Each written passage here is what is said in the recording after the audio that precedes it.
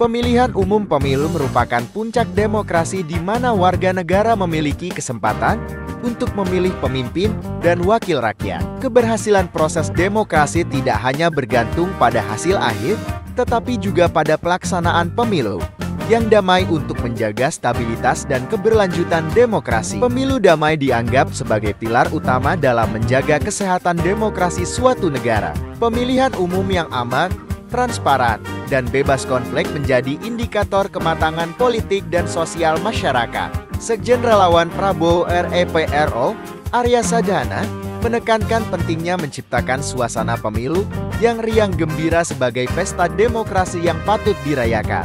Pemilih muda, terutama dari generasi milenial dan generasi Z, dianggap memiliki peran penting sebagai generasi penerus dalam memilih pemimpin untuk masa depan bangsa.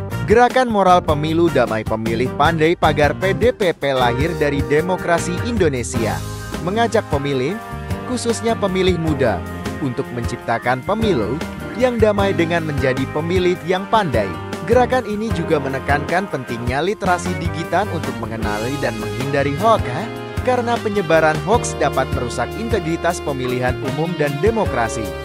Jumlah hoax terkait pemilu meningkat secara signifikan, memerlukan upaya bersama untuk melawan bahaya tersebut.